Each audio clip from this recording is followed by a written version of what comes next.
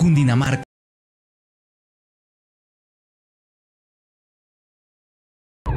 Por instrucciones del señor gobernador Nicolás García, en este momento estamos llegando al municipio de Ubaté, sector Novilleros, finca Novilleritos, en el cual después de las 5 de la tarde una avioneta sufrió un siniestro en el cual lamentablemente fallecieron tres ciudadanos, entre ellos el médico cirujano Fabio Grandas, la señora Mayerly Díaz Rojas, la señora Nuris Maza, a quien a toda su familia expresamos nuestras condolencias.